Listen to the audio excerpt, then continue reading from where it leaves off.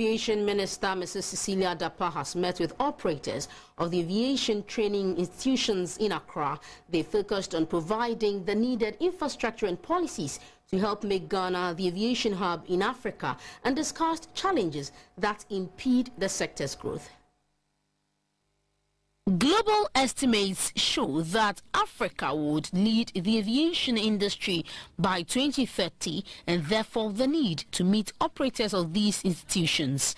In all, nine aviation training institutions for the first time were engaged by the sector minister.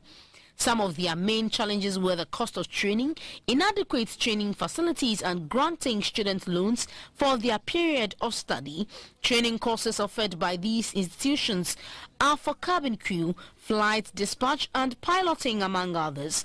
The issue of credibility and accreditation came up as one of the problems. The chief executive of Aerovector Aviation Training Institute, Madame Mansa Ampoma, said the cost of training for cabin crew is high because the student pays the cedi equivalent of the dollar fee. The biggest challenge for us is the challenge that we're facing in all areas in this country. That is employment of the youth. We too are very keen on helping the youth to get employment. So when we train and there is no end products, i.e. employment, it becomes an issue for the, the candidates. So really our focus is on the candidates getting jobs after they've done the training access to the airport facility and job opportunities from international airlines for Ghanaian pilots, according to the Deputy Managing Director of CTK Academy, Mr. Kweku Nchubuesiako, are some of the hurdles. Looking at the side of uh, cabin crew, I mean,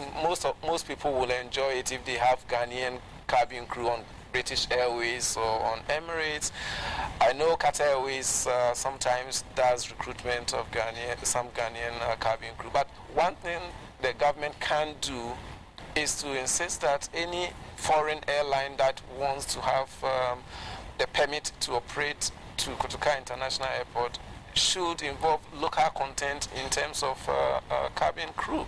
The aviation minister, Mrs. Cecilia Dapaah, said lack of collaboration between airlines and training institutions often affects job opportunities for the youth. She then pledged her ministry's commitment to engage more youth with interest in the industry. Last year, we've been able to uh, create about, about 600 jobs within the aviation sector formally between the agencies under this ministry. And we realized that at times some of the youth have their first degree, but they need to specialize to be more marketable. That is why we called the institutions training crew members as well as pilots. We realized that there's no coordination between the employing airlines and the training institutions.